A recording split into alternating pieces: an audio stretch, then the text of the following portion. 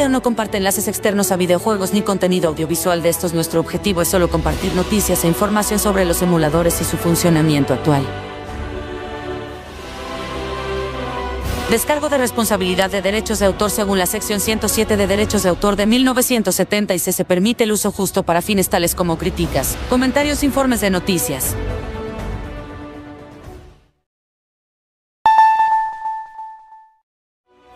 Here we go! Here we go!